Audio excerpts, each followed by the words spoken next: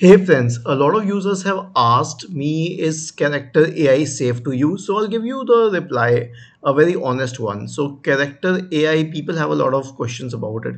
Does character AI track your messages? Now a lot of people say that no, it doesn't. But uh, I can confirm that it does save your chats and the charts are available to the developers. But here's the thing. Why would they specifically access your chat and leak them?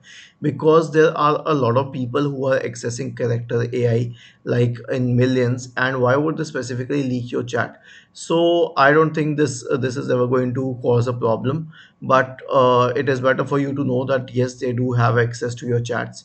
And the second question is does character ai use real people? Obviously not. They use AI and yes artificial intelligence has uh, risen to a level where it can interact in a manner the way it does with character AI and then there are a lot of other questions as well like people say that uh, what if my chats are leaked so your chats cannot be leaked because they're specific to your account and there is always an option to delete all of your chat history.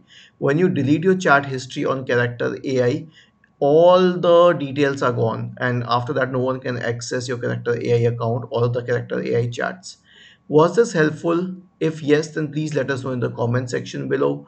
Do not forget to subscribe to the channel. Thank you for watching this video and have a nice day